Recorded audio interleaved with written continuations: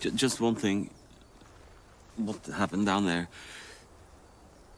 If you think that I was involved in some sort of homosexual activity, you just couldn't be more wrong. Passionate sex with another man. Hmm. Doesn't get more gay than that, does it? No, no, sure, but, but, but what's important is that according to Viking law, uh, uh, you haven't been engaged in an illegal homosexual uh, activity as long as you are the active part.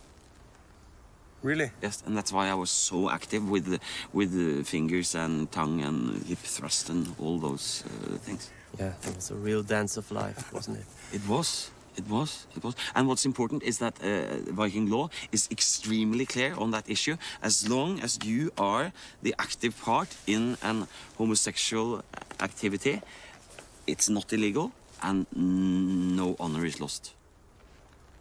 So you haven't lost any honor? No, no, no, no, no, not at all. On the contrary.